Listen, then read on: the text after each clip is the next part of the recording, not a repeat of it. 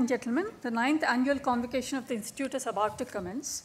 The academic procession is now entering the hall. Uh, you requested to stand up and remain standing till all the members of the procession are seated on the dais.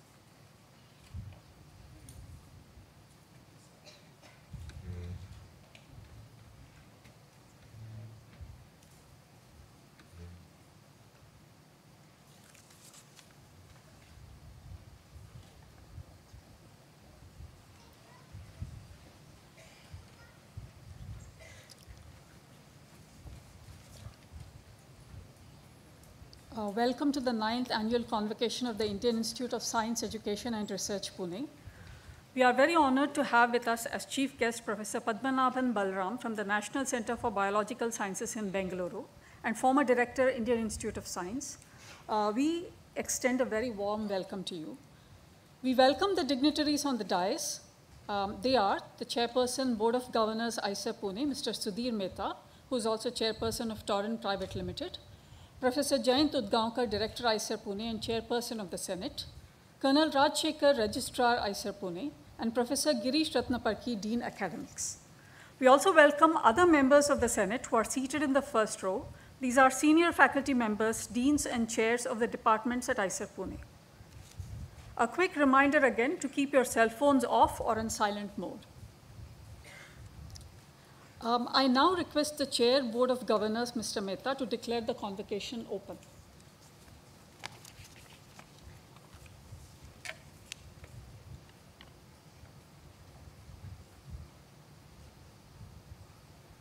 Declare the ninth annual convocation of IISER Pune open. Thank you, sir. Uh, I now request Professor Girish Ratnaparkhi, Dean Academics, to present the candidates for the doctoral degrees.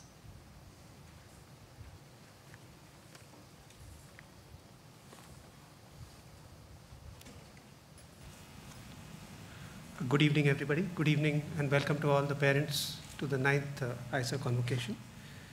Uh, it's my pleasure to present to all of you 32 students, including those in absentia, who have completed the prescribed program of study and research and have qualified for the award of Doctor of Philosophy. Of these 32, 10 have also qualified previously for the Master of Science degree at, as part of the integrated PhD program. I request the Chairperson Senate, Professor Jayant and the Registrar Colonel Raj Shekhar to come forward to award the degrees.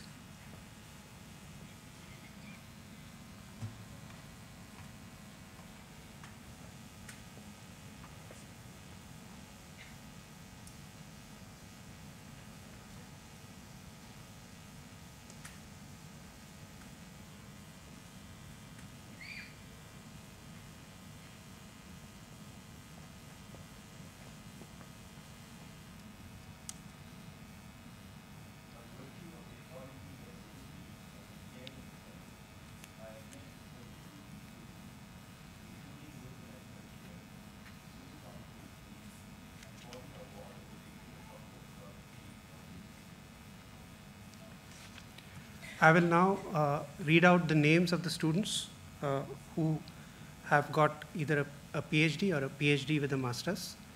Uh, Devika Sudhir Bodhas in absentia, PhD. Uh, all the names I am going to uh, read out are all uh, PhD awards. Shoptik Chakravarti, could you please come on the dais? Vivek Kumar.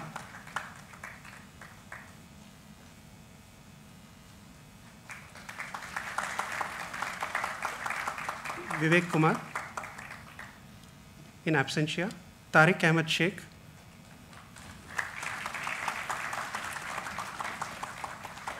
Basudev Patnaik in absentia. Gautam Sharma.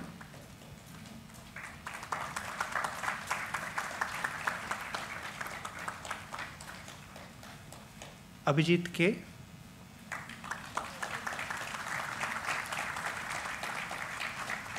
Sudipa Mandal in absentia, Prerna Bora in absentia, Prachi Gupta in absentia, Saurabh Laha.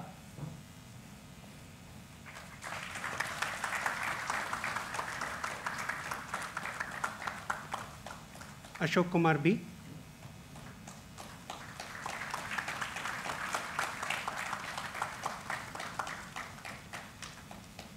Todkari Iranna Anappa.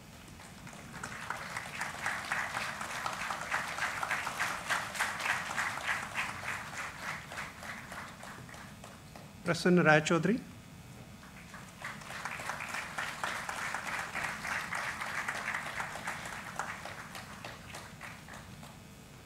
Vargude Prakash Kashinath.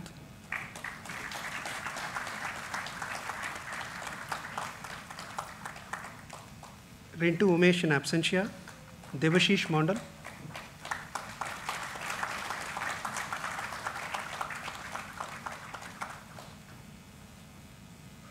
Pooja Kumari.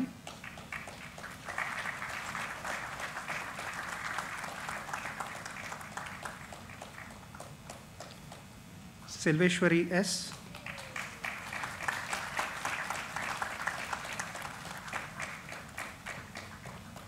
Ajit Vijay.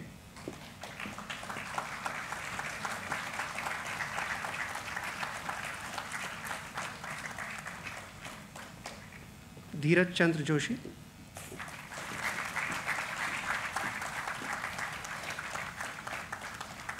I now move on to the integrated PhD students. Uh, Ryan Chakravarti in absentia.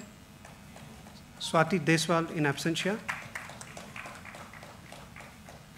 Abhijit Gupta.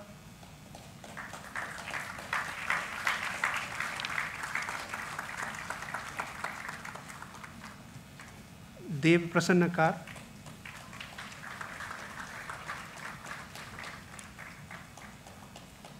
These are all distinction candidates. Divya Rao, distinction in absentia.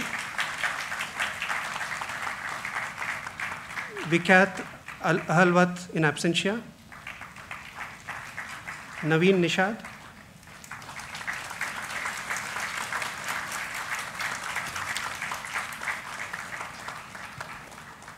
Shubham Pandey in absentia.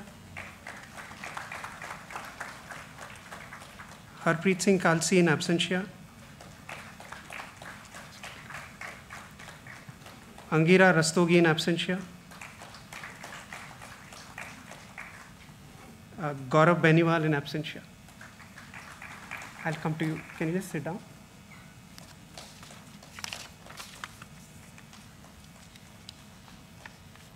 Sunita will move on to her.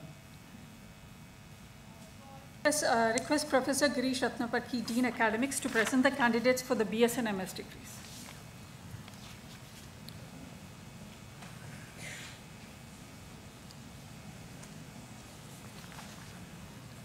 I will now read out the names of candidates who have got a BSMS degree with distinction. Uh, Pritam Sinha Roy Chaudhary in absentia. Sarat Chandra J.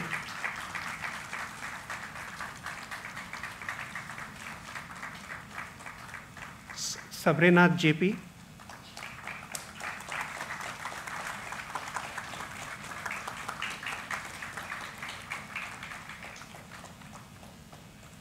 Chetan Pandey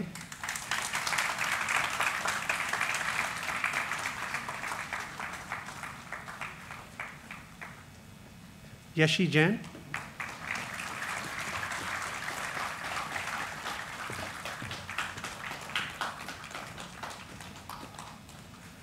Jain. Ritvik Kumar Ghosh.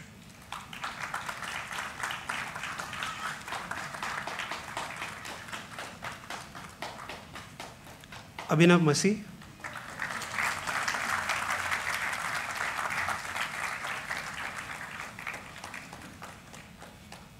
Aditya Milind Kolatkar.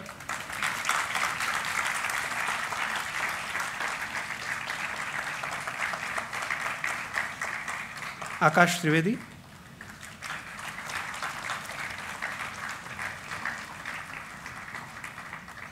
Dipankar Mehti.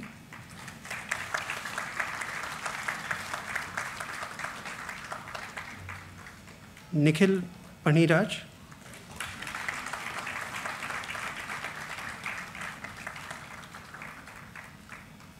Fernandes Johan Milton. Remember all of these are distinction candidates. Shivam Sachin Chitnis.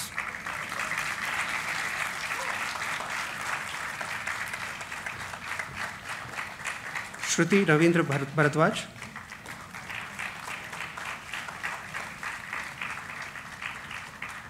Advait Ashirwad Thatte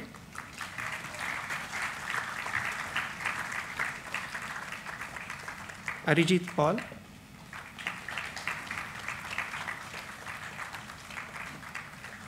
Pratyush M R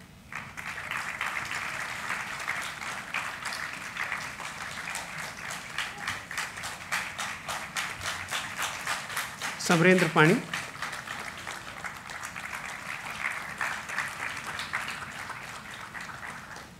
Nagananda K K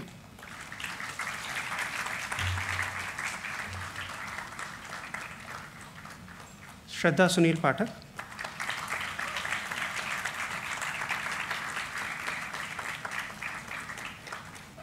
Madhubhushi Madhubhushi Abhinav Jagan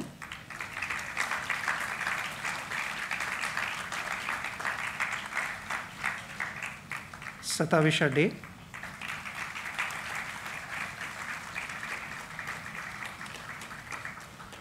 Google Shrija Gajanan.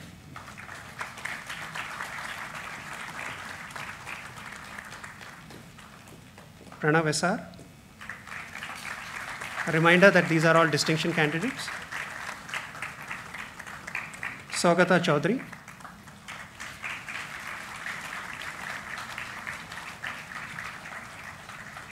Vaibhav Chhaya.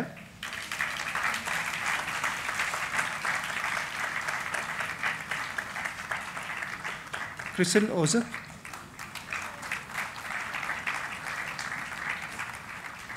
Gautam Jagdish Hegde.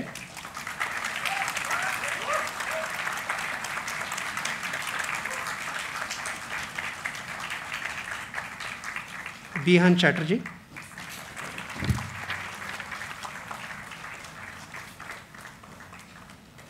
Prabhav Jain.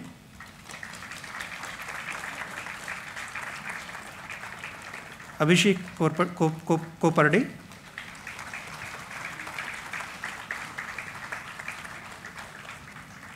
Devesh Maurya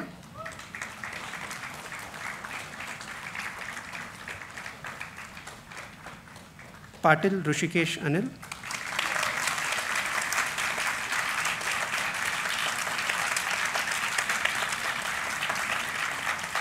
Vishnupriya S.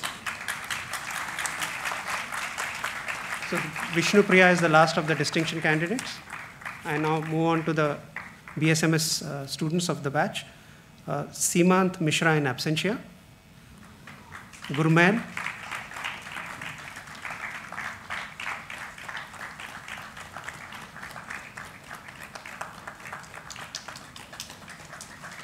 Himanshu A. Bhisikat.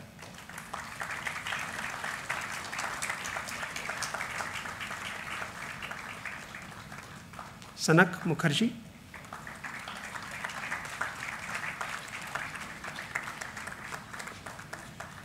Rahul Verma.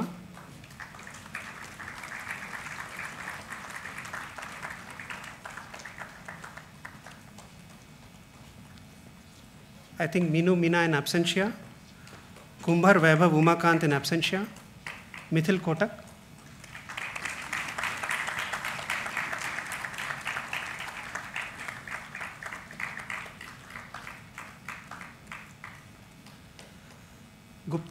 Vrita Sunil,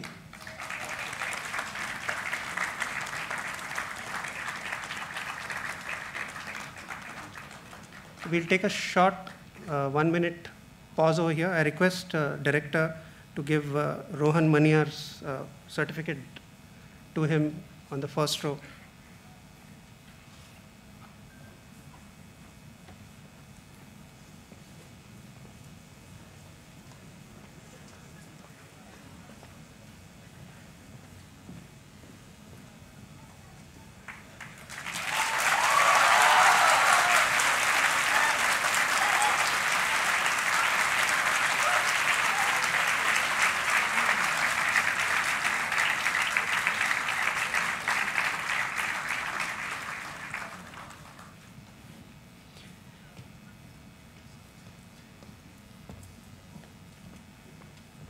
We continue with uh, P. Ria.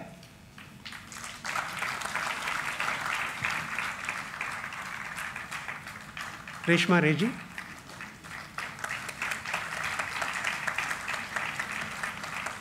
Tirumala Venkata Chakradar in absentia. Sahana N.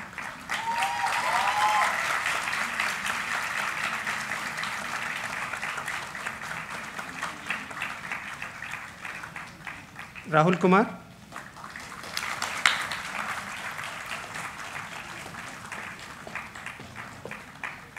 Shashank Pritam.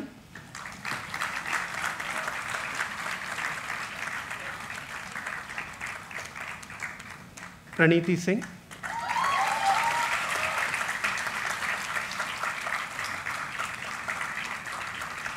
Simantini Paul.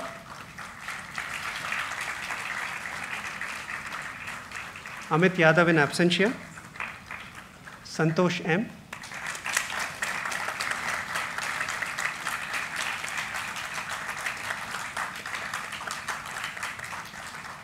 Ashwat Narayanan Madhusudan.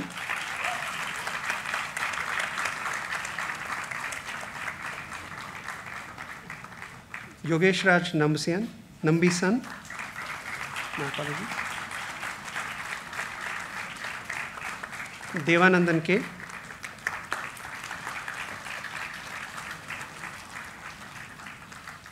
Malavika Biju.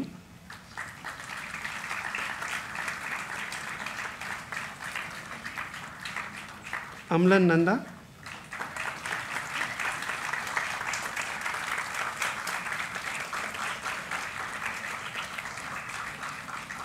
Ahmad Suhail Udangat.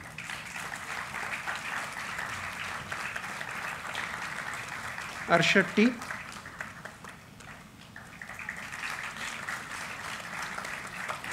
Ramya K R in absentia लोकमृत K R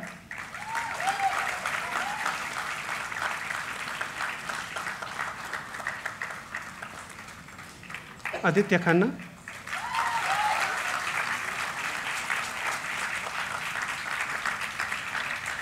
Viraj Daniel D'Souza.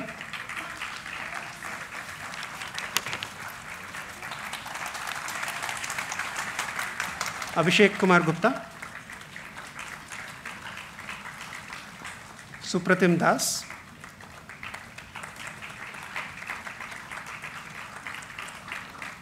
Prashant Kumar Gopidi Harshan Reddy in absentia Deshpande Srijit Ganesh in absentia Badane Anurag Nitin Rao Lakshmi Shriram Aishwarya Ajit भी।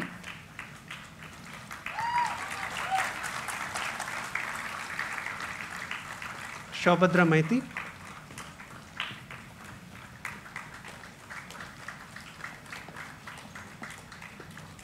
राहुल टक।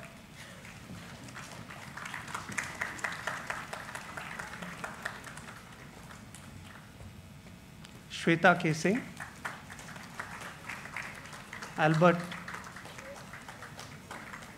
Albert, Jacob,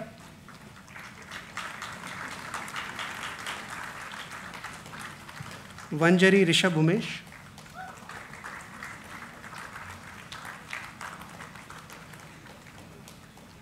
Guneet Singh Tarang,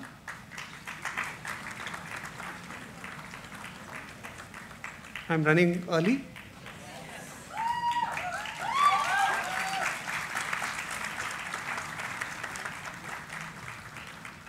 Okay, Guneet Singh Tarang.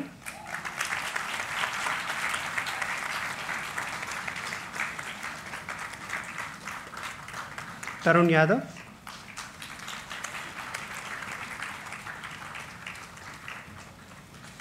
Gauri Niranjana.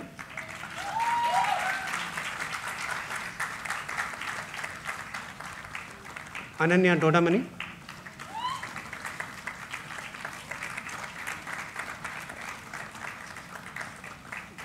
Tathagata Bhattacharya.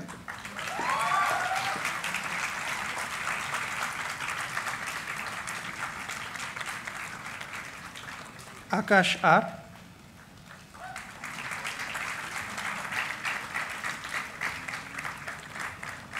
Anagha Ajay Bhangli.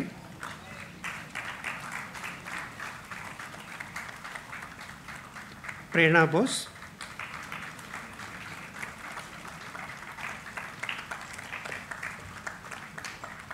Nandini R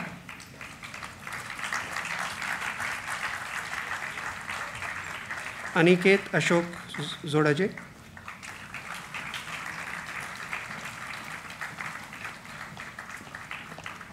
S Pavithira.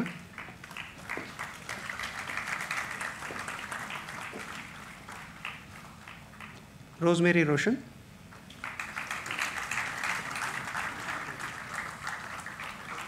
Megha Dinesh Bhatt.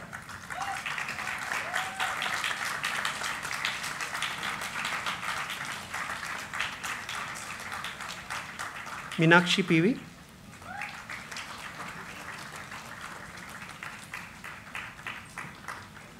Vimal Das ES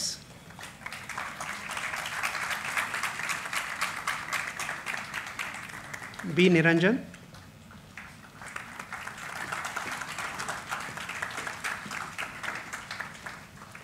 Rohit Sahasrabuddhe.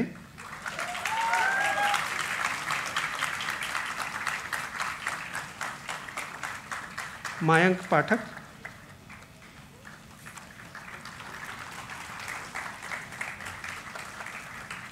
Shefali Dharmakriti Sonarkar.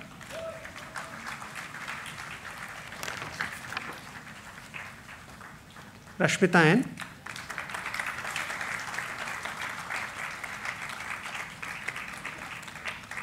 Sean David.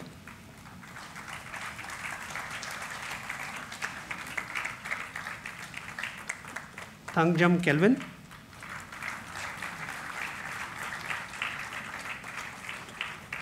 Vibhut Chandan Sahu.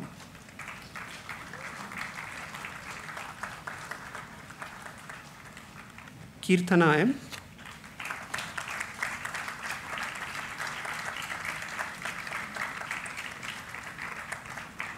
Bodha Vishwas.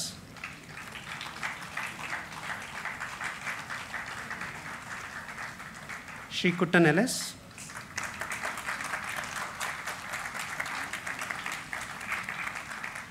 Gaikwad Vibhor Vijay.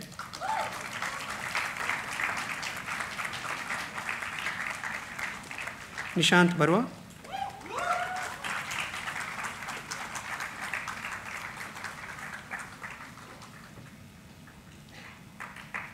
Vivek Kumar.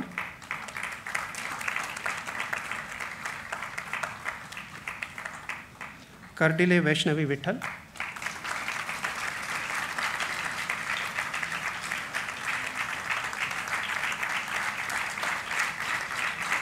सयांतन Dutta.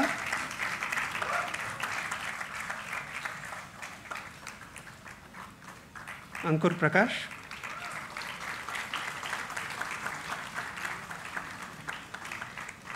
जाडे आशना अनिल.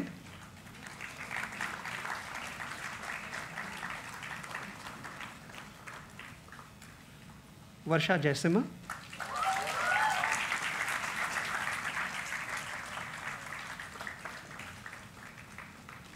गुजरे Aditi Ashok.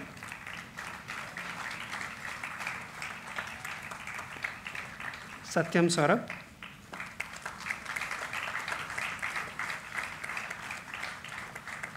Kabaddi, Rijuta Nain K Sai Vighnesh in Anil Kumar.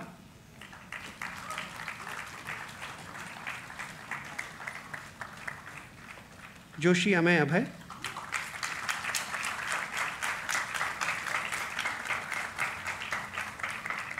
Sheikh Parvez Mandal.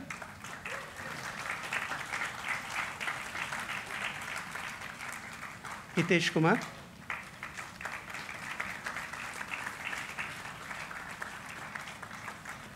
Chirag Gupta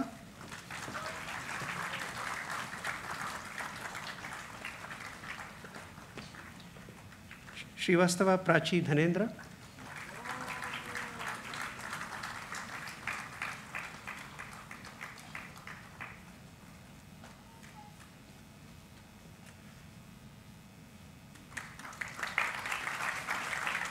Shubhankar Gajanan Londhe.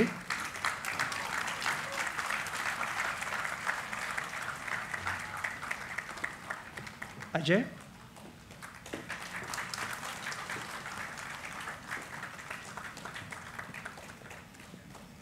Mohammad Jibin P.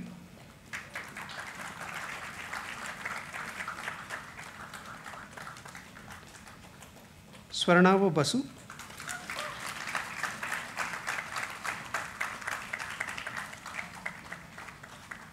Kelkar Vidyadhish Jagdish. In absentia Bhadrashree G, R Jeevan. In absentia Umbarkar Prajakta Keshav. Mahajan Utkarsh Anil.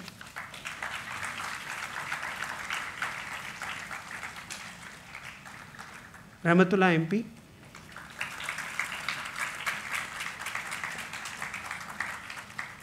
Amritya Harsh Singh. In absentia लीसस Kumar सेवटकर अटे कौस्तव विलासराव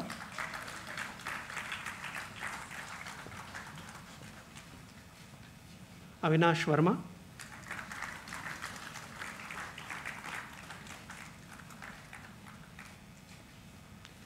क्षितिज we Bansal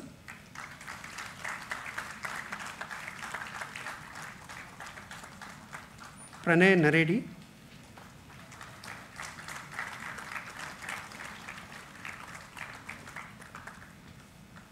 Aditya Singh Bagri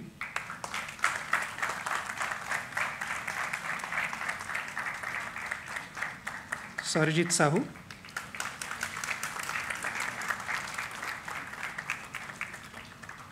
Ashutosh Rana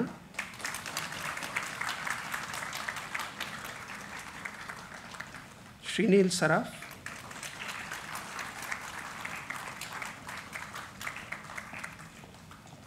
Yuvraj Chaudhary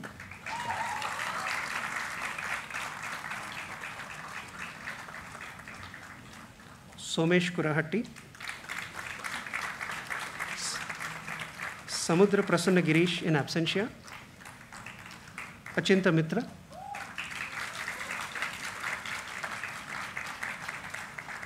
Parmar Dhruvanshu Mahesh bhai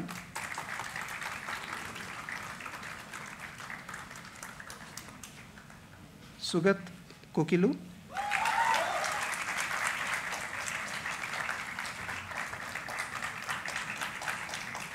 Mayur Raj Singh.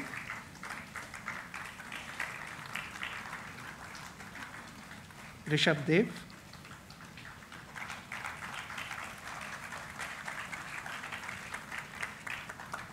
Patil Harshal Rajendra.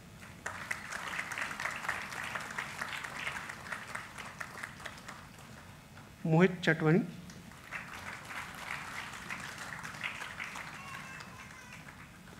Rakshit Rajput.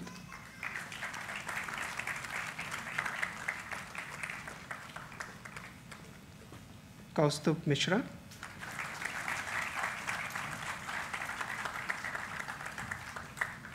Govind Gandhi M.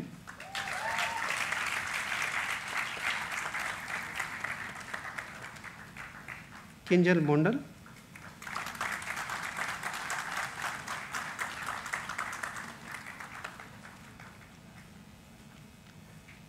Shivangi Patel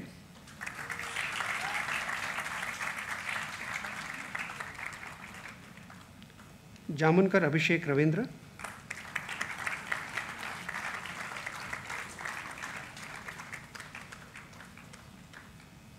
Manish Kumar Gupta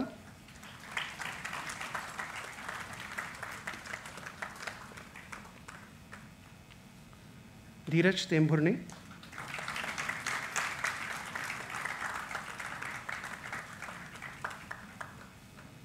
Nikita Gupta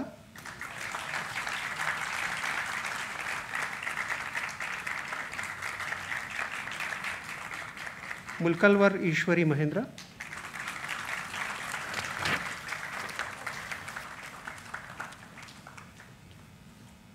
Sayan Devnath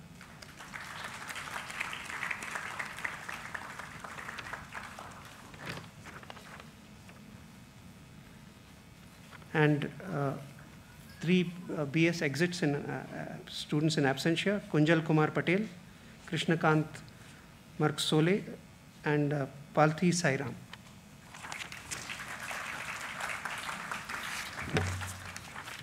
I'll now move to the alumni list, and before that, uh, Manwa Devekar Joshi.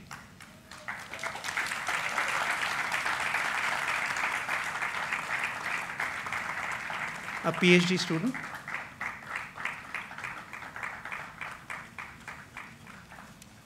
Okay, so now the rest of the alumni. Abhishek Chaudhary.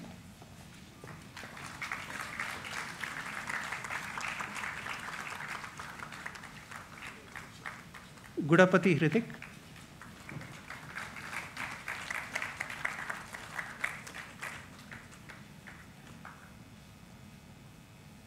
Jyotish S.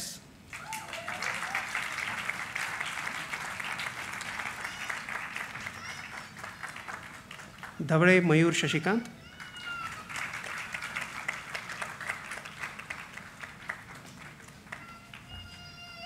Sagnik Ghosh?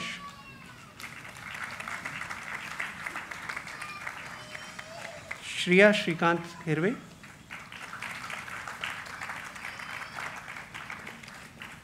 P Balkrishna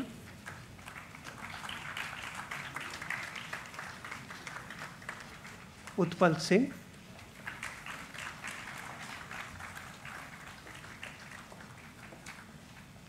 Adarsh Srinivasan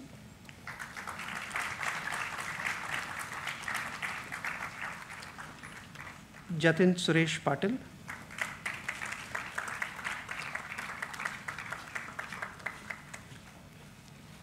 Dinesh P R.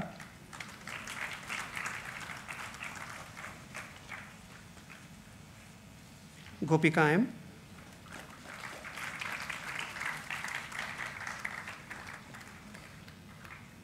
Devadarshini S.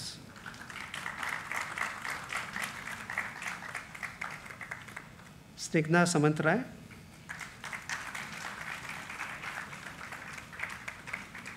Harshvardhan BV.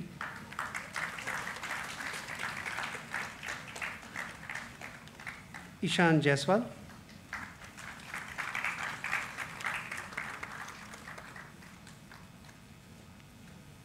Apu S.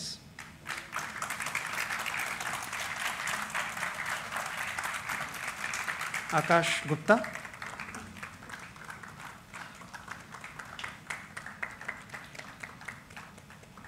Chitwan Chandoriya.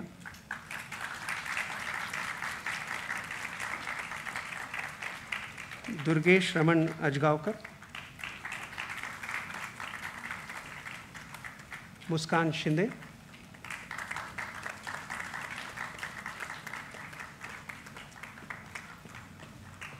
Subhashree Shubhadarshini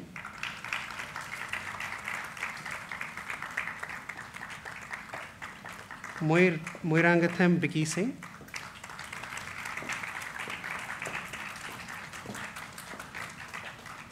आकाश चवन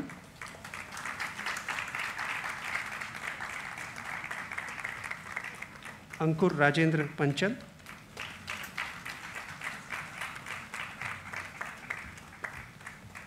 आगम पराग शाह।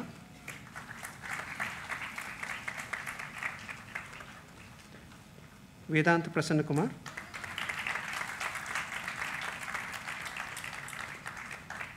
संकल्प Chaudhary.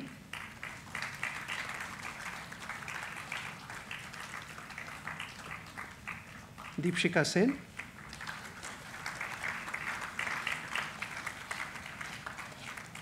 Devi Prasad Panda. Shyam Krishna P.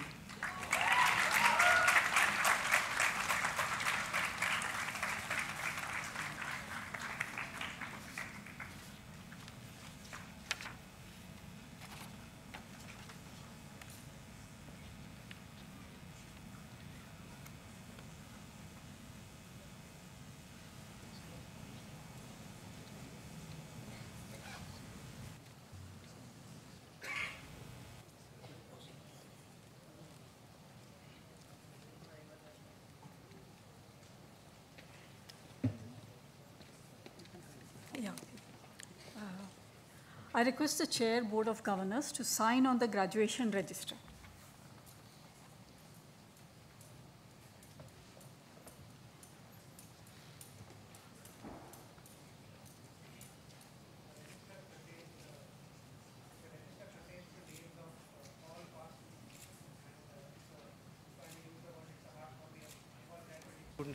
from from the very beginning. So I'll repeat myself. The register contains the name of all graduating students from the first student who graduated from IISER. And I'll call it a hard copy of all, all graduating students from IISER, which is what the BOG chairman has signed.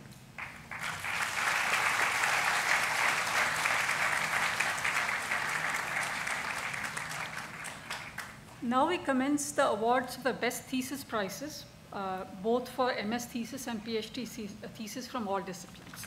So I request Professor Girish Ratnaparkhi to announce the awardees. So uh, I am going to request uh, the chairs of uh, departments to uh, uh, come on stage uh, in alphabetical order. I request first Chairperson Biology, Professor Thom- Thomas Pucadyil to come on stage and read out the awards.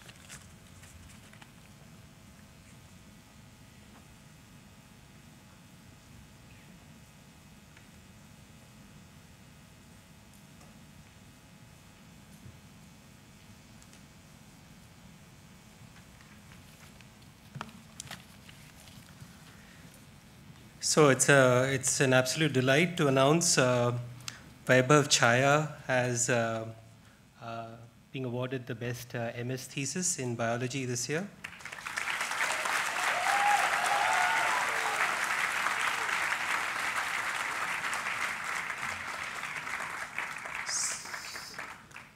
So Vaibhav's uh, thesis is titled Form and Function in the bills of cavity ex- excavating barbets. And uh, Vaibhav has completed his MS thesis uh, with uh, Dr. Anand Krishnan, who I believe is here in the audience with us.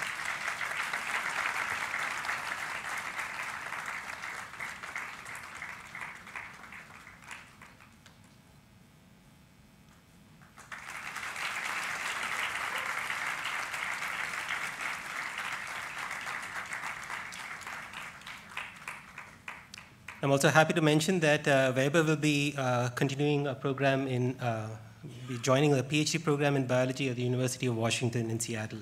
Good luck, Vaibhav.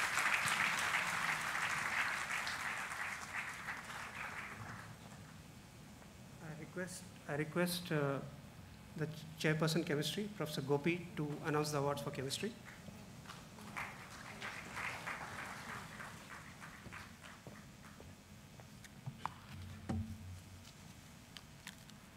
Uh, I'm very happy to announce the Best Thesis Award in Chemistry that goes to Ritim Sinha Rai Chowdhury.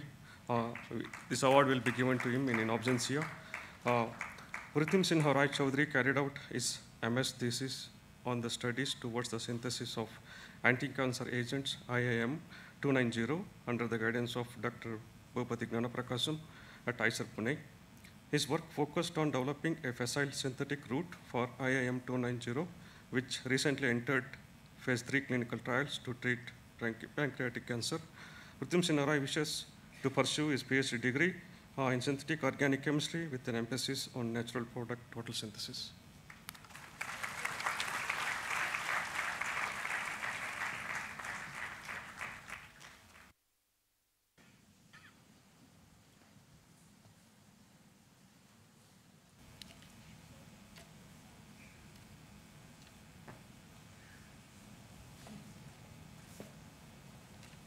Uh, Girish, I think you have to read the names of the other thesis awardees. Oh, uh, I request, uh, this, this is chemistry of, uh, do I move on to physics? We have done biology and chemistry.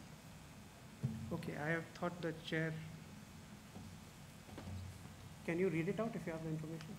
I apologize to everybody. So we have best thesis awards in uh, physics, mathematics, earth and climate science, and interdisciplinary studies.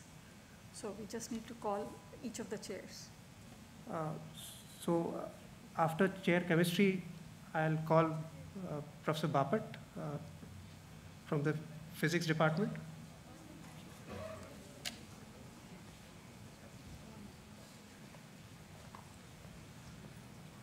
It's my pleasure to announce the awards in physics.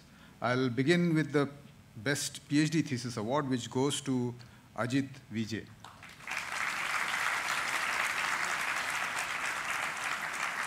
Ajit's uh, thesis title is Translational Diffusion of a Tracer Molecule in Nano-Confined Water.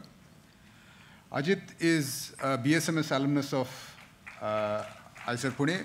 He got his degrees in 2015 and continued to work with Dr. Shivprasad Patil on, uh, for his PhD. He has developed a state-of-the-art instrument and analysis technique for measuring the diffusion of a tracer molecule in water confined between walls separated by a few nanometers. Ajit will now be moving on as a postdoctoral fellow in the research group of Professor Mark Raizen at the University of Texas, Austin, uh, very soon, in a couple of months. Uh, all the best, Ajit, for your next endeavor, and hearty congratulations from all of us. Let me now go over to the Best MS Thesis uh, Award, which goes to Rishikesh Anil Patil. From the applause Rishikesh has received, he is clearly a very popular student. Uh, Rishikesh has worked on uh, theoretical physics, uh, specifically on exact calculations of, non, of non-local quantities in a loop model. His work was done under the guidance of Professor Kedar Damle of TIFR Mumbai and Dr. Shrijit in IISER Pune. Rishikesh wishes to pursue a PhD in physics with an emphasis on theoretical condensed matter physics, and he will soon be joining the University of California, Santa Barbara. Rishikesh, all the best for your endeavors, and congratulations once again. Thank you.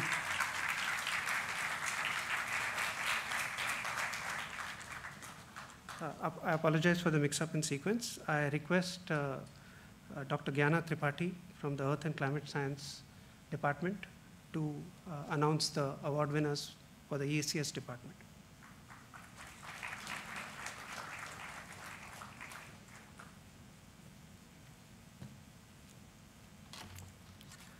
Good evening, everyone. Uh, I'm happy to announce the Best Thesis Award for Earth and Climate Science Department. Uh, this year, the best thesis goes to Iswari Mulkalwar. She pursued a PhD uh, master's project with uh, Suhas Ettammal on the topic of uh, amplitude modulation of the quasi-biennial oscillation by the connect convectively coupled equatorial waves. Uh, the study highlights the seasonal and geographical preference shown by equatorial waves as a crucial factor in isolating their signals. She wishes to pursue a PhD and I wish her success for joining a PhD degree at Scripps Institute of Oceanography at San Diego. Thank you.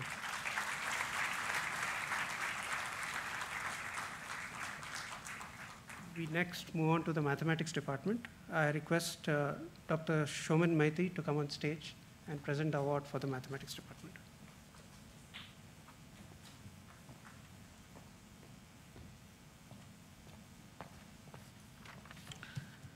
good evening. Uh, in mathematics, best uh, PhD thesis award goes to Prasun Rai Chaudhuri. Prasun joins mathematics department uh, in 2017, and then he worked uh, in the area of uh, real analysis uh, with uh, Dr. Anup Biswas and Debdip Ganguly. He made significant contribution to the study of uh, Poincare-Hardy types inequalities and eigenvalue problems for second-order elliptic PDEs. He will be joining National Taiwan University as a postdoc fellow. Congratulations, Prasun. So next, uh, in mathematics, the best uh, MS thesis award uh, goes to Yasi Jain. Uh, yeah, so, so, so she worked in the area of uh, number theory and the representation theory with uh, Professor Steven Spallone.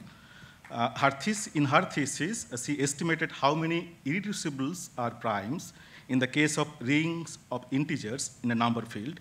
And uh, she will be joining Johns Hopkins University for her PhD. Thank you.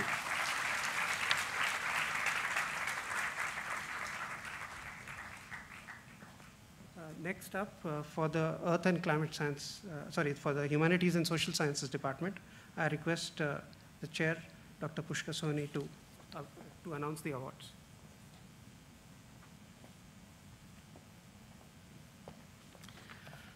Good evening. It's my pleasure to announce the Best MS Thesis Award for Humanities and Social Sciences, which has been, uh, uh, you know, awarded to Viraj Daniel D'Souza.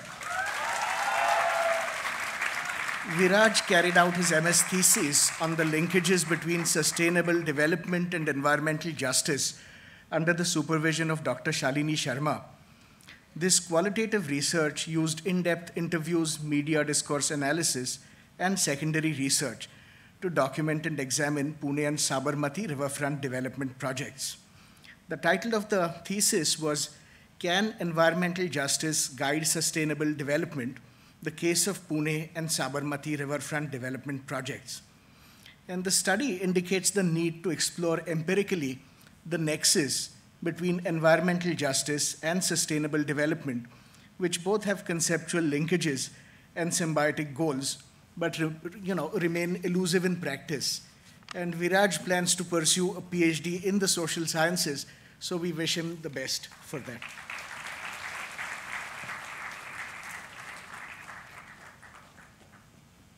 Uh, For interdisciplinary sciences, uh, I would like to announce uh, the winner as uh, Rohit Sahasrabudhe. So Rohit's worked on social ecological systems with Dr. Shai Pilosof in the Ben Gurion University of the Negev, Israel, and Professor Martin Rosvall in the Umeå University, Sweden. Using an agent-based model for social processes, his project explores the dynamics of harvesting a stylized renewable resource. The study highlights the inter- intertwined nature of social and environmental processes. Understanding these interactions is vital to making informed and responsible decisions around the challenges that face us in the Anthropocene. Rohit will be continuing to study uh, complex systems and hopes to work on tackling problems of societal importance during his DPhil in the University of Oxford.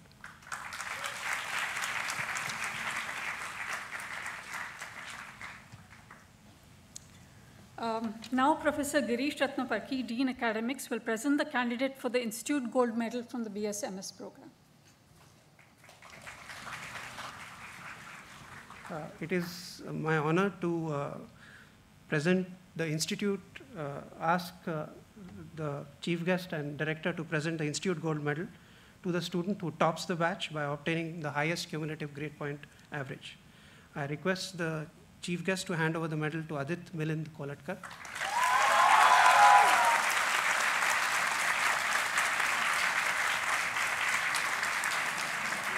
So,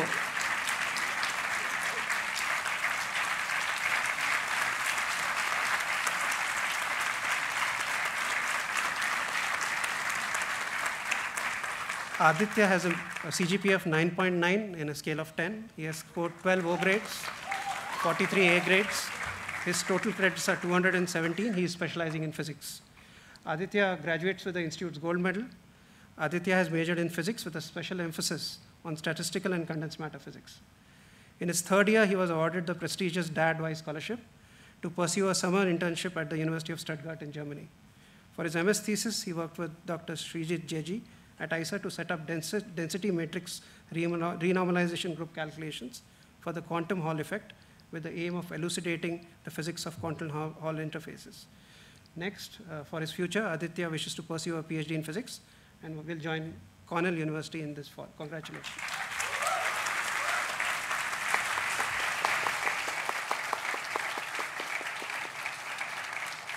I now request the Director, IISER Pune, Professor Jayant Udgaonkar, to present the report of the Institute and to introduce the chief guest.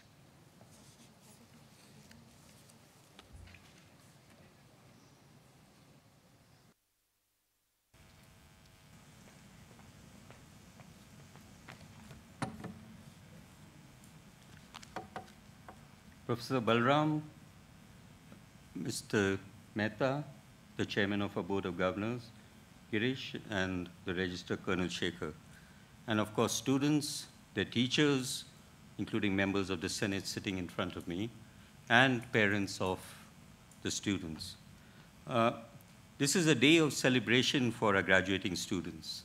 During the five years here, they have contributed much to strengthen the intellectual atmosphere at the Institute and we thank them for that.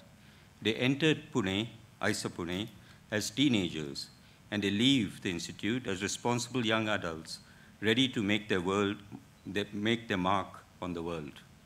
I am sure that the education at IISER has prepared them well not only to tackle the important problems in science, but also to address the many problems facing us as a society.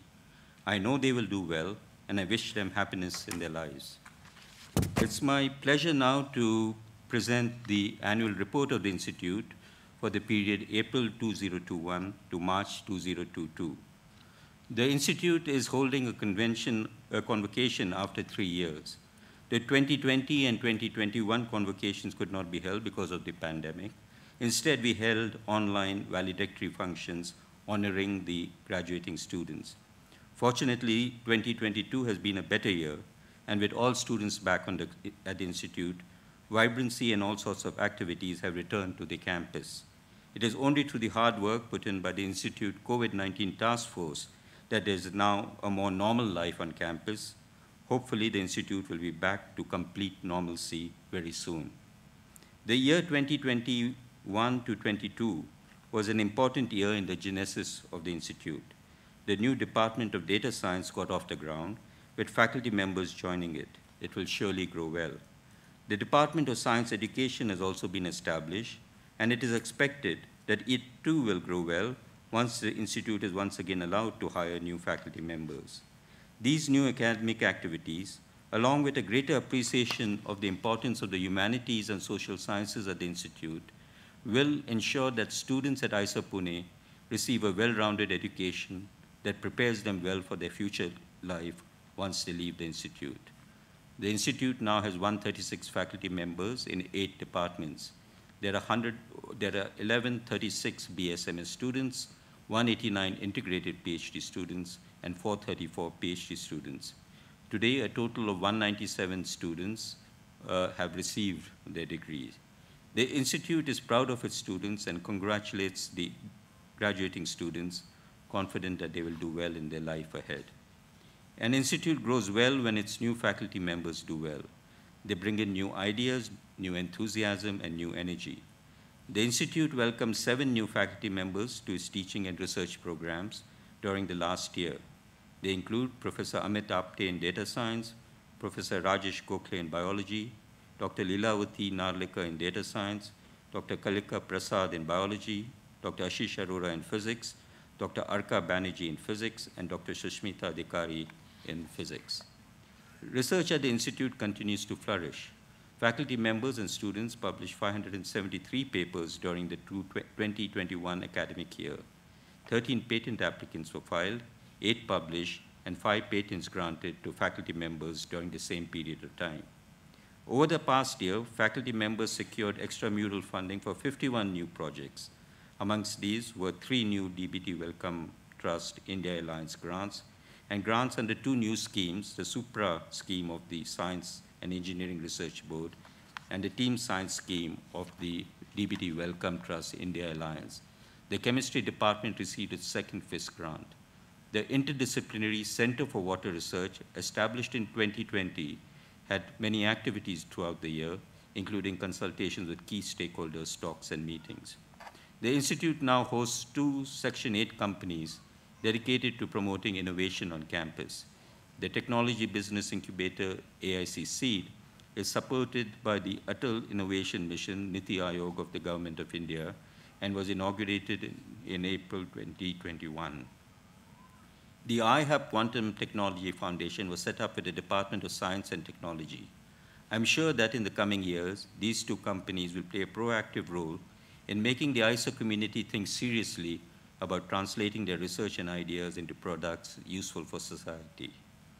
In the 2021 India rankings of the National Institutional Ranking Framework, NIRF, which considers all universities and national institutes in India, IISER Pune was ranked at the 24th position in the overall category and at the 16th position in the research category. The, the research accomplishments of faculty members have been recognized by various prestigious awards. Professor Deepak Dhar was selected to receive the prestigious Boltzmann Medal for 2022. Maybe he should stand up.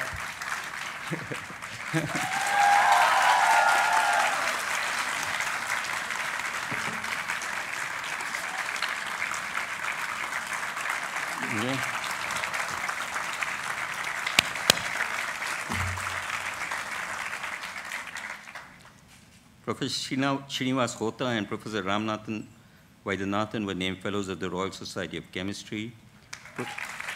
Pro Professor Ramnathan Vaidyanathan was appointed as an associated editor of the journal Chemistry of Materials. Professor Suthir Dey and Professor Boomishankar received the SERB Star Award for 2021. Dr. Shravanti Chowdhury and Dr. Boomishankar received the bronze medals of the Chemical Research Society of India for 2022. Dr. Nishad Matange was selected for the 2021 eLife Ben Bar Barres Spotlight Award. Dr. Mausami Bhakta and Dr. Siddesh Kamath were selected for the Swarna Jayanti Fellowships for 2020-25. Dr. Raghav Rajan was selected for the Senior Fellowship awarded by the DBT Wellcome Trust India Alliance. Professor Sham Rai re received a Raja Ramanna Fellowship. Dr. Sudipto Sarkar was elected as a Fellow of the Geological Society of London.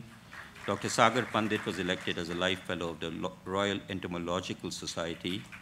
Professor Satish Chandra Ogale received the C.N.R. Rao Prize Lecture Award in Advanced Materials for the year 2021 from the Materials Research Society of India, and Professor Rajesh Gokhale was appointed as the Secretary of the Department of Biotechnology.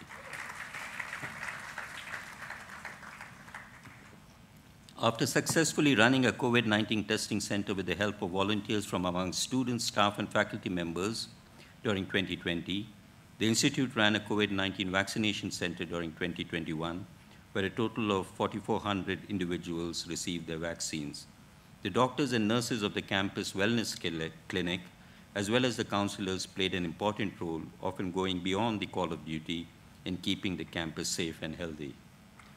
Another major contribution towards tackling COVID-19 came from genome sequencing efforts at the Institute.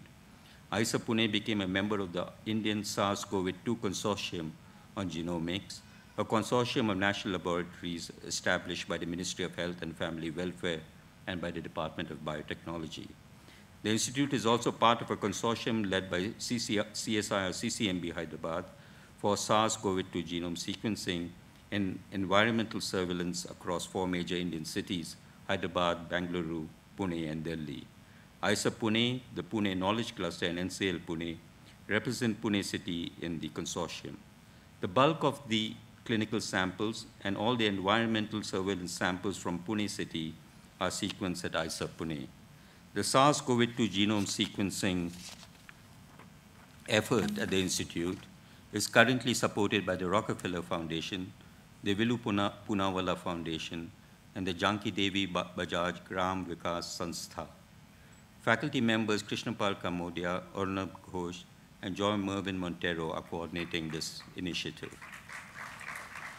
Several of the Institute's students received accolades for their performance in academics and innovation. Curium Biotech, the first student-led startup at IISER Pune, was incubated at the Atal Incubation Center on the campus. The team won BIRAC's Biotechnology Ignition Grant and the iGEM Startup Showcase. A team of students from IISER Pune won a gold medal at the 2021 iGEM Synthetic Biology Competition. BSMS student Chirag Gupta was among the toppers of CAT 2021.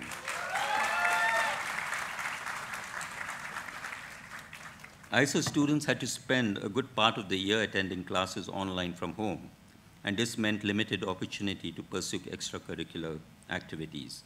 Nevertheless, they made the most of the difficult situation and adapted some extracurricular activities to the online mode. The students participated in the Inter-IISER Virtual Games and Sports Fest, Tenacity, conducted by IISER Kolkata, conducted the Mimamsa Annual Science Quiz online, and took part in the cultural events conducted by IISER Pune and Berhampur as part of the Ek Bharat Shreshtha Bharat program. Prutha, the Green Club, organized events on the campus such as counting of bird species and recording biodiversity on the campus. Returning to campus earlier this year allowed students to participate in the IISER Premier League cricket tournament. During 2021-22, the Institute received financial commitments of rupees 3.4 crores from 19 companies and individuals to support various activities. Funds were raised towards research and outreach activities and for providing financial assistance to the students.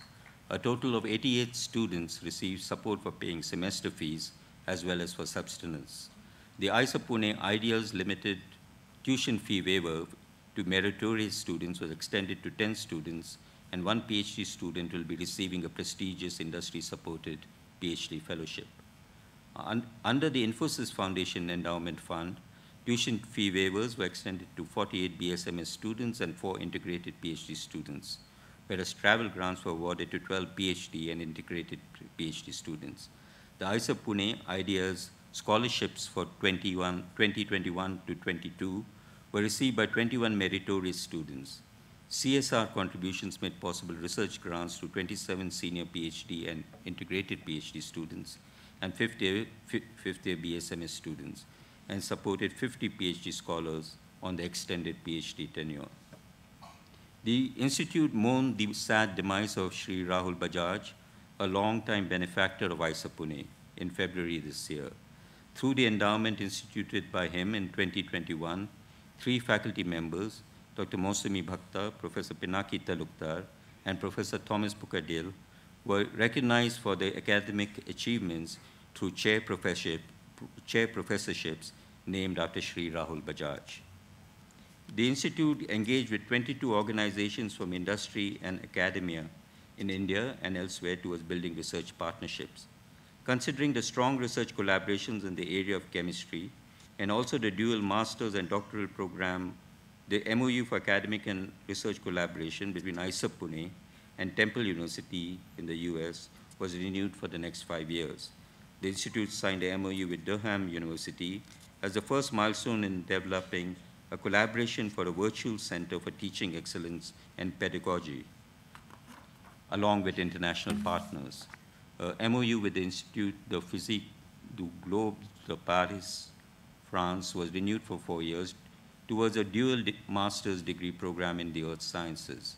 A joint workshop series has been initiated with the School of Education, University of Glasgow.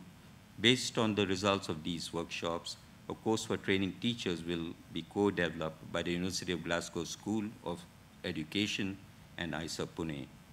During the pandemic, the Science Activity Center started a Sunday lecture, live lecture and demonstration series.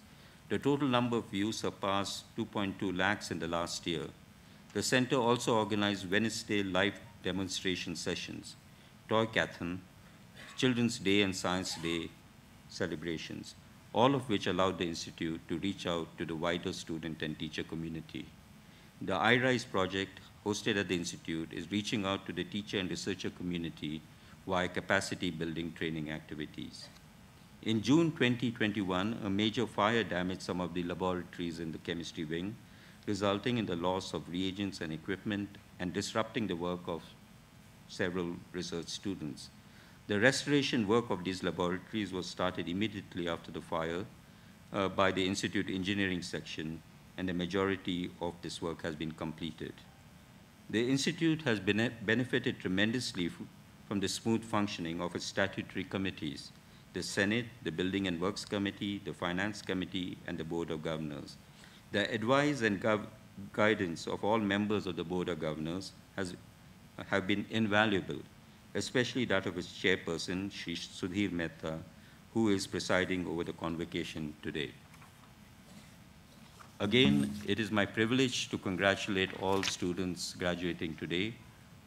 Congratulations. I wish you all the best. Do well in life. Thank you.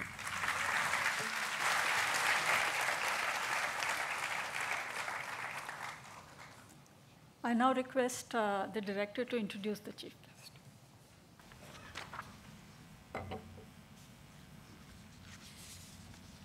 It's really a privilege to introduce Professor Balaram. Uh, Professor Balaram studied in Pune initially. Uh, he did his BSc from Fergusson College, uh, from Pune, Pune University, his MSc from IIT Kanpur, and his PhD from Carnegie Mellon University. He was then at Howard University for a year before joining the faculty of the Indian Institute of Science, uh, where he was from 1973 to 2014 as a faculty member. He was director of the IISc from 2005 to 2014 and has done extensive work and contributed much to the areas of molecular biophysics and chemical biology. Professor Balaram is known to virtually every scientist in the country because of the very incisive editorials he's written for the journal Current Science for something like eight years from 1995 to 2013. I believe he's authored over 300 editorials in which he has really discussed and analyzed the state of Indian science over all those years. Uh, he's the recipient of many awards and honors, uh, including the Padma Shri and the Padma Bhushan. Uh, most recently, he, re he received the Bruce Merrifield, Merrifield Award of 2021 from the American Peptide Society. He's He's currently associated with the National Center for Biological Sciences in Bangalore as the DST YOS chair professor. So that's the formal part of the introduction, but I've known Professor Balaram for, since 1987, I believe. Uh, this was before I joined the national, before I came back to India from the US. And I visited the Indian Institute of Science at that time in 1987 and Professor Balaram spared a whole day to show me around the campus. And uh, he took me around on his scooter, and I nearly killed him by not knowing how to sit properly on a two-wheeler. Uh, even though my weight at that time was 10 kilograms less, his was even lesser. And the mass distribution on the scooter was such that it was tilting in front of a bus. But uh, anyway, it's been a real pleasure to have known him since that time. Uh, I got to know him even more when I moved to Bangalore and our uh, center was uh, for the first five, six years on the Indian Institute of Science campus. Um, we used to get invited to the same meetings very often. Uh, at least all the meetings I was invited to, he would be speaking also. And invariably, he was the star speaker, and I would be speaking after him. And those of you who have heard Professor Balaram speak know that it's very difficult to match him in style and follow him in any lecture which he gives. And all of you will, be, will really get to know that uh, when he delivers his lecture. It's been a pleasure knowing him all these years. He's been a source of very good advice uh, to the institute I was at and also to me personally. And it's with great pleasure that I invite him to give his talk out here.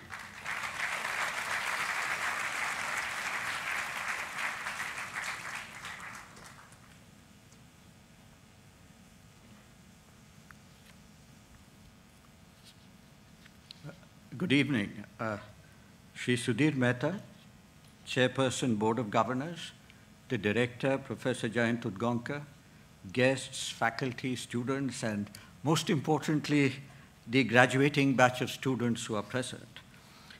It's a privilege for me to be with you at this ninth convocation of IISER Pune. First of all, I must begin by congratulating each and every one of you and offering my best wishes to all the students who are graduating today, and of course to their families for whom this is the most important day.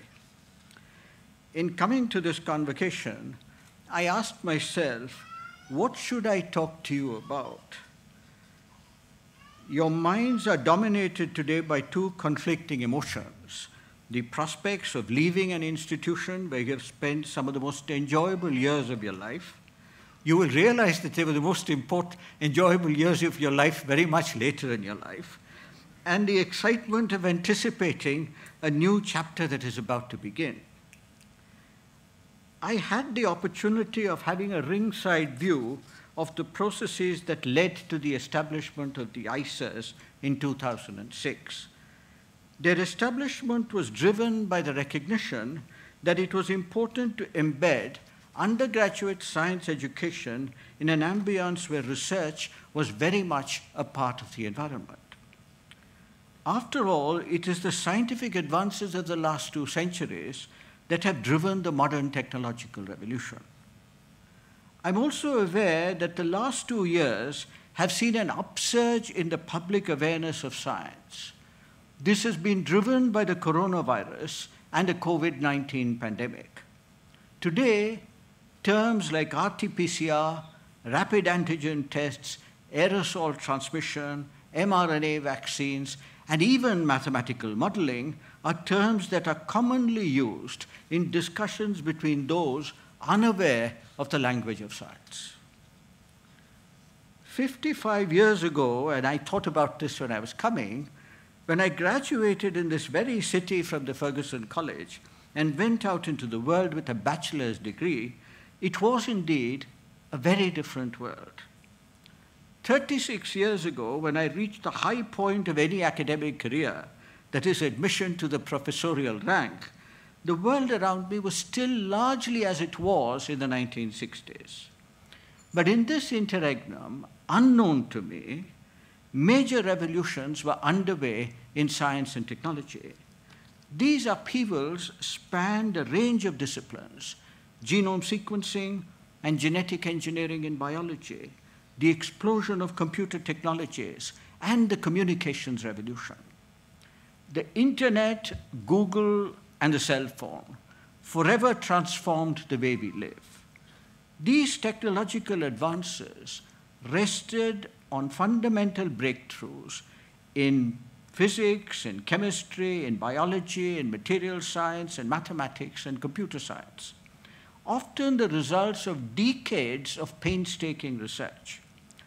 Rarely were they the result of that blinding flash of insight that makes science often look glamorous and romantic from the outside. I want you to think of gene sequencing technologies. Reflect on the lithium battery so central to our lives today, or the electronic processes that, processes that drive all our devices, and many more. You will realize that science and technology are inseparable.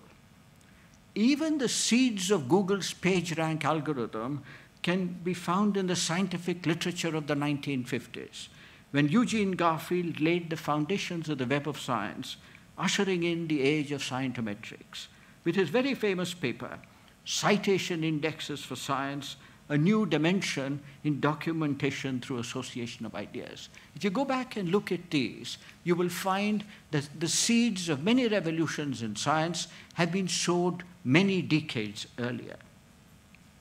The long investments in basic research are sometimes best done with public funds.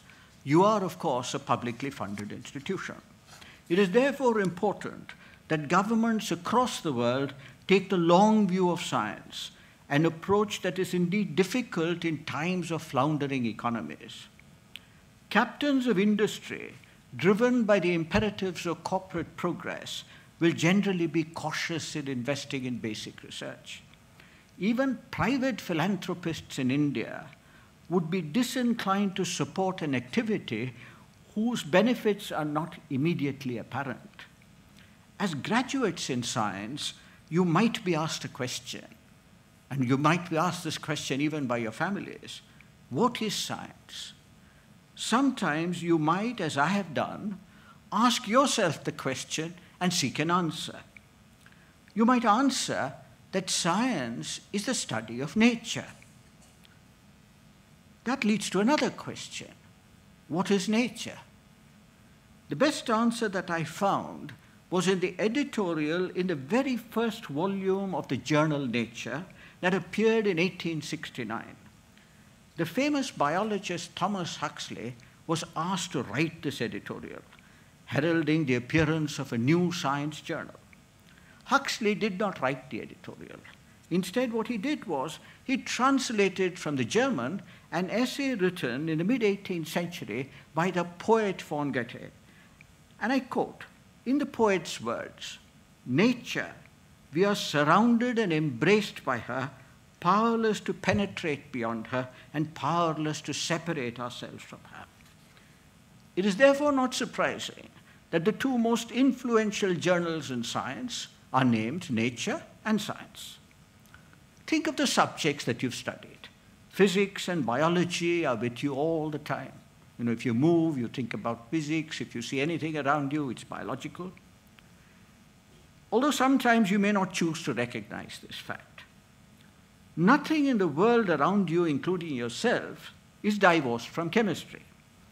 Indeed, some years ago, in response to an intriguing judgment of the Bombay High Court that steam is not a chemical, the Royal Society of Chemistry offered an award of one million pounds to anyone producing a material that is non chemical. Today, the only people who sort of advertise non chemical chemicals are Patanjali and some uh, companies like this. The one million pound offer of the Royal Society of Chemistry is still available. And I'm sure that some of you need the money, and therefore you should look for this non chemical material. Of mathematics, I can do no better than remind you that Galileo once remarked that mathematics is the language in which God wrote the universe. If I paraphrase Galileo, and I'm a chemist, I might add that chemistry is the language in which nature wrote the book of life. The biochemist Arthur Kornberg aptly described chemistry as the lingua franca of the medical and biological sciences. It is one of the sad facts of medical education in India that so little attention is paid to the study of chemistry. Now, science also requires tools, and we sometimes underestimate the importance of technology in driving science. The famous theoretical physicist Freeman Dyson once noted that science is often driven by new technologies rather than new concepts. This is sometimes difficult for those, of, for those scientists who are in science, for this blinding flash of insight to believe this, but it is true in many, many disciplines. I hesitate to say this, of course, with Professor Deepak Dhar in the audience, and thinking of Boltzmann, one might sometimes think that pure thought leads to remarkable insights. In the 17th century, two inventions, the telescope and the microscope, forever altered our view of the world.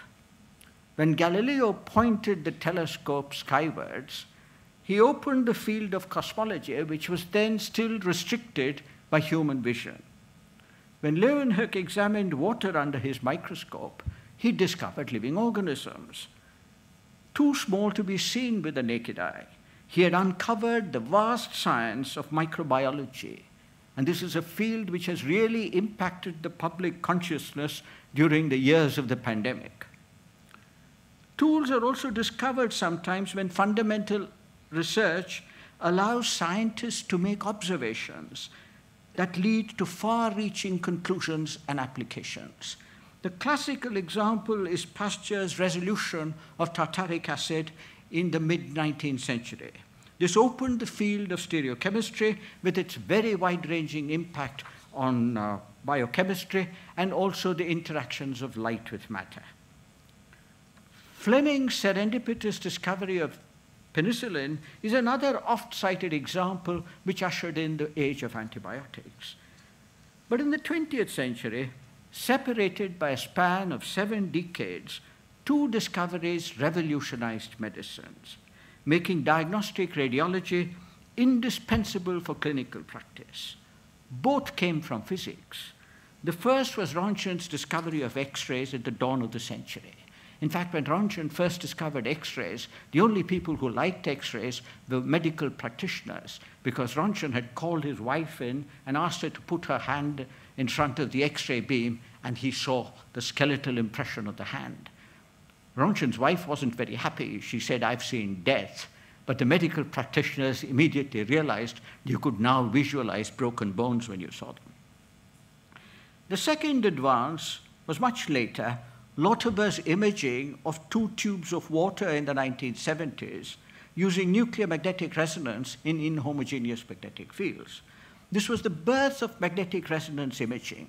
You know, the word, the prefix nuclear was cleverly dropped so that it doesn't alarm the public. Magnetic resonance sounds somewhat neutral.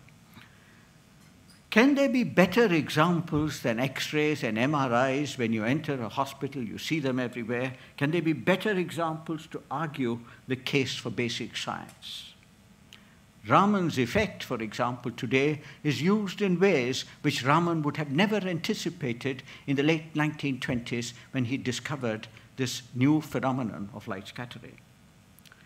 But amongst those of us who marvel at the wonders of nature, always ask the question where did everything we see come from? This leads to questions which cannot always be answered. Questions on the origins of the universe, questions on the origins of life on Earth. All the natural elements in Mendeleev's periodic table were the Earth's inheritance when it was born. Nucleosynthesis is the prerogative of the stars, and our sun is amongst them.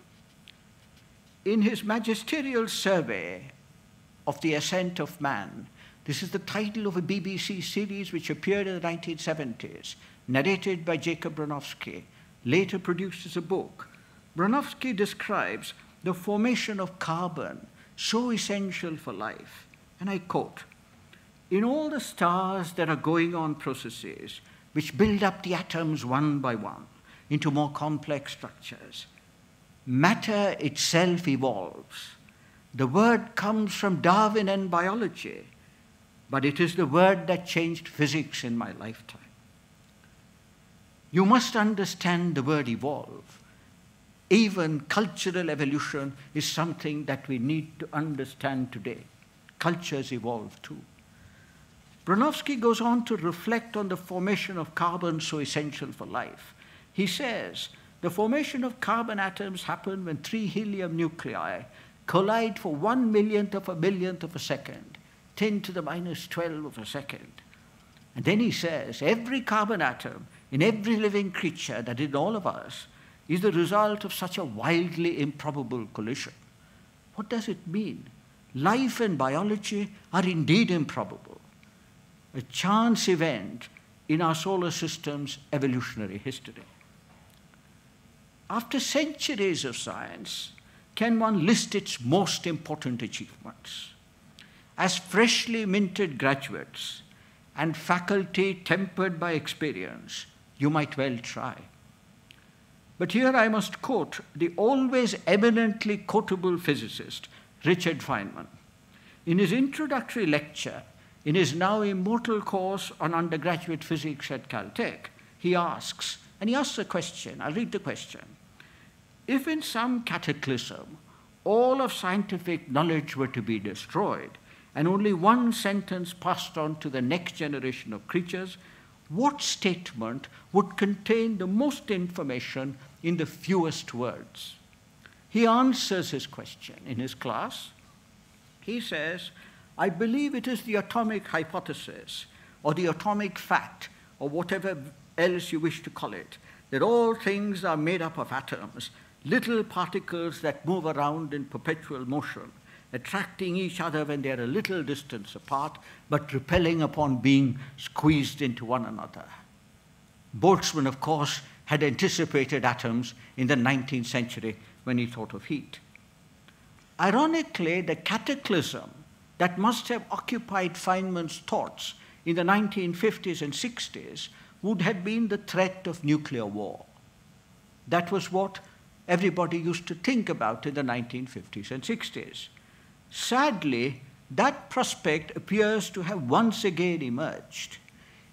In the world of geopolitics, there is little time to wonder about the fragile thread by which life on earth hangs and the importance of preserving the natural world, which of course includes human species, as unsustainable consumption and development threaten the natural order.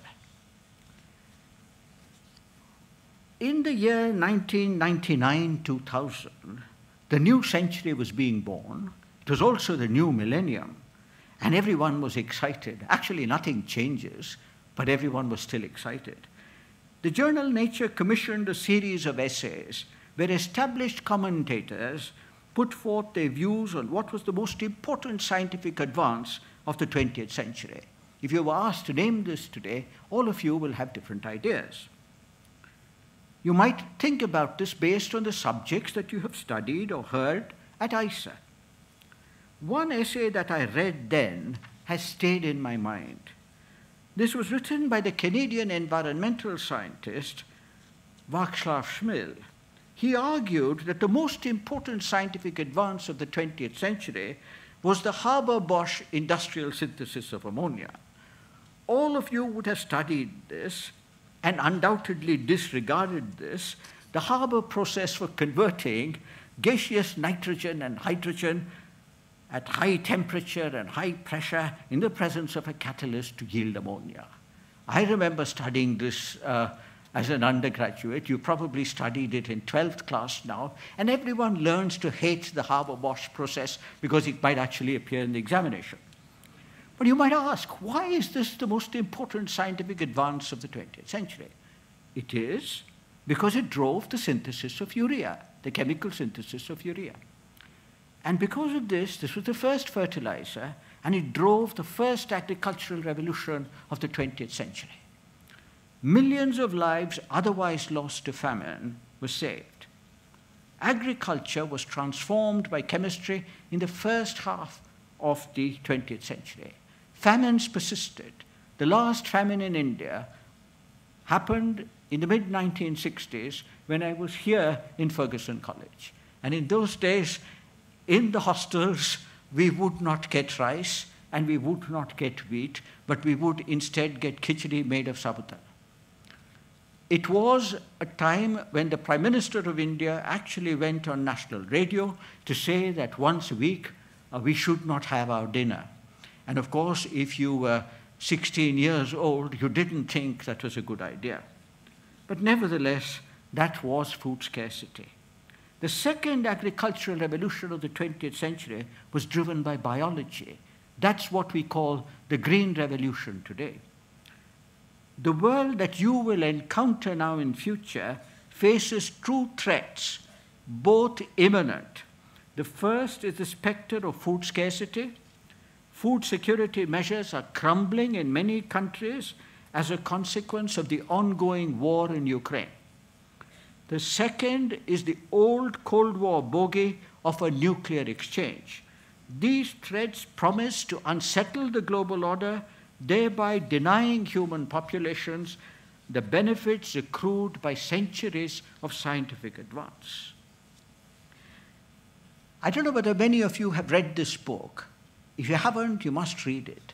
This is the book Sapiens, written by the Israeli historian Yuval Harari. He traces the evolution of humankind. He asks an interesting question, which I paraphrase. When, in the course of human evolution, does human behavior begin to disregard biological imperatives that dominate animal behavior? We're all animals. And when does human behavior become increasingly influenced by recent history? In Harari's words, the cognitive revolution is accordingly the point when history declared its independence from biology. As long as we were hunter gatherers, moving in small bands to gather food, we were driven by the same imperatives that animals are driven, the very animals that you st- study today in wildlife biology. He goes on to say the immense diversity of imagined realities that sapiens invented and the resultant diversity of behavior patterns are the main components of what we call cultures. Once cultures appeared, they never cease to change and develop, and these unstoppable alterations are what we call history. And then he says, from the cognitive revolution, and you might ask, what catalyzed the cognitive revolution? When did the human brain begin to develop in the manner in which it is developed today? It was again a technological advance. Bronowski traces this in The Ascent of Man. It was the invention of agriculture. It was when human societies became stationary, and when human societies became stationary, had to protect their food, protect their fields, that you needed to organize societies. And when you organize societies, the best way to organize them is to create myths which will bind societies together.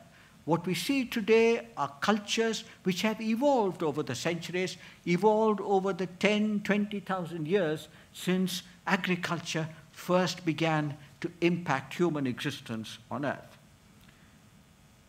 Harari goes on to say from the cognitive revolution onwards, historical narratives replace biological theories as our primary means of explaining the development of Homo sapiens. To understand the rise of Christianity or the French Revolution, it is not enough to comprehend the interaction of genes, hormones, and organisms. It is necessary to take into account the interactions of ideas, images, and fantasies as well. What does modern science tell us about biology?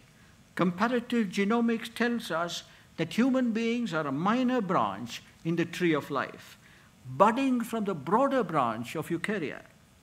Life on Earth is dominated by the microbial branches, bacteria and archaea. Our closest neighbors, if you look at the tree of life in a biology textbook, are chimpanzees, rats, mice, mice, pigs, horses, cattle, sheep, and dogs. There is a certain comforting unity in biology. Yet, human history, driven by civilizational influences and the evolution of culture, appears to be sadly divisive. Over the last two years, you have experienced nature in all its magnificence in the form of the coronavirus. While it has caused us great disruption, it is still a remarkable natural phenomenon where a disease has emerged out of nowhere and then evolved as it spread through human populations. The coronavirus has breached all political, religious, and ethnic boundaries, reminding us that politics and religion two favorite pastimes, not only in India but worldwide, afford no protection against the forces of nature. You might ask then, in an address when you're graduating, why do I draw your attention to such a disparate group of subjects? I do this because of the environment, climatic, social, and political, in which we live today. You're all from a science institution. Some reflections on the role of science in understanding nature may allow us to introspect on the course of human history and attempt to rationalize why the world is the way it is today. Science is a deeply humbling subject, and every day we are reminded of our imperfect understanding of even the subjects of our daily research. It is this humility that I hope you have learnt at IISER. It will go a long way in guiding you in the future. usually speakers at convocations are supposed to give words of good advice to the graduating class of students. I learned long ago never give advice to anybody. Don't give advice to government because they throw it into the waste paper basket. Uh, don't give advice to your colleagues because they'll get angry with you. And uh, don't give advice to students because they're going to anyway do whatever they want to do. So keep the advice to yourself. But then I thought, what have other people said? And I think the best convocation address that I've ever read was one given at Harvard many years ago. And the convocation speaker, or the commencement speaker as they are known, was a famous person, but not the kind of person you might expect at the Harvard commencement. It was J.K. Rowling, the author of the Harry Potter books. And what J.K. Rowling said has really remained in my mind, and I'll simply paraphrase what she said. You know, there are two qualities that will stand you in good stead in whatever you wish to do. You might like to become a poet or a painter after having studied physics here. Don't worry, do it. Uh, and those two qualities, and I borrow from Rowling here, are resilience and imagination. Certainly, Rowling did very well with both qualities, and uh, it was her resilience and her imagination which allowed her to produce the Harry Potter series. In research and indeed in many other walks of life, failure is more common than success. Uh, in Indian educational institutions, students come in after a battery of entrance examination. They come in already bruised and battered, especially, for example, in the IITs. After all of this, everything else is an anticlimax afterwards. And you're always worried about success. But in real life, failure is far more common than success, and in research, failure is almost an everyday occurrence. Overcoming the fear of failure, and this is Rowling's advice, is often the first step towards success. She said this to the Harvard graduating class because if you've gotten into Harvard, afterwards you're afraid of failing for the rest of your life, and that doesn't do you any good.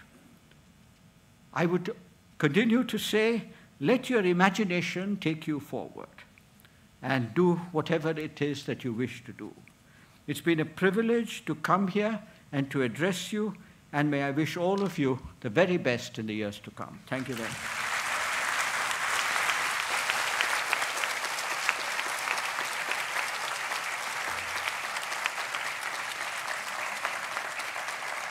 Uh, thank you, Professor Balaram, for your wonderful talk. You've given us a lot to think about. Uh, to take back memories of your visit to our institute, we would like to present you a memento. Uh, I request the director to hand over the memento to the chief guest.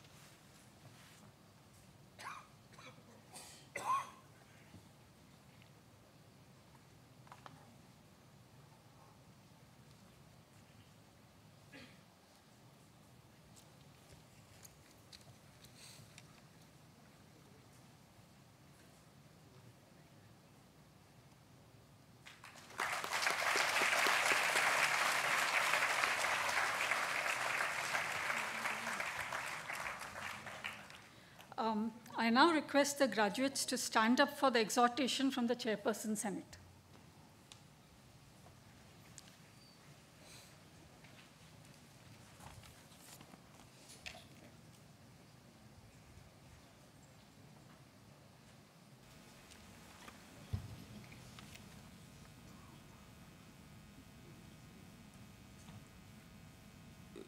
Be aware that your knowledge and intellectual attainment is your most sacred wealth.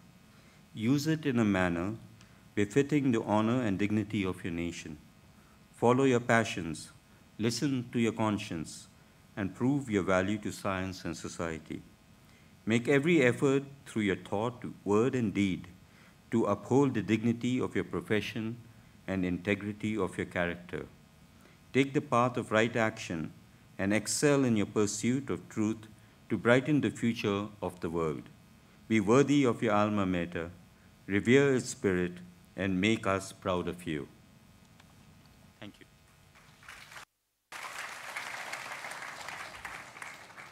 I request the Chairperson Board of Governors to declare the convocation closed. I declare the ninth annual convocation of IISER Pune closed. Uh, Thank you, sir. Uh, I request everyone to stand up for the national anthem. And after the national anthem, all are requested to remain standing in their places till the academic procession leaves.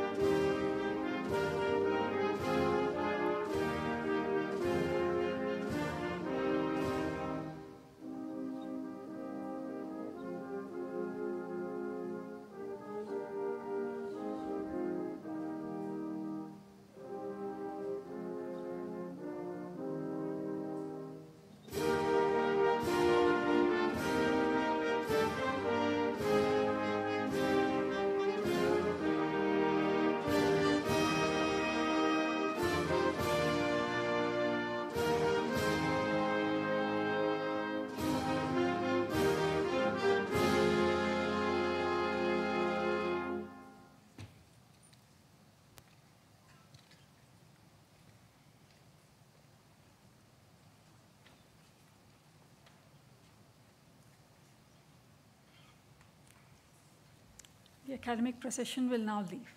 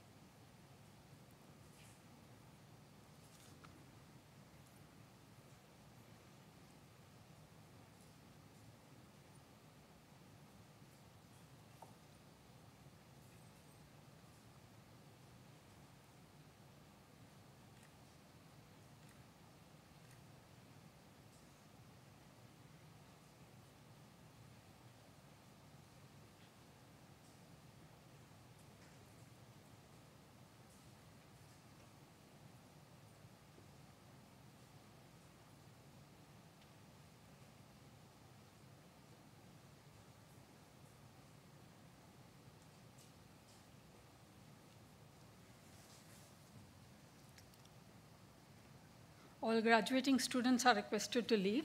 I request the parents and guests to be seated until the students have left.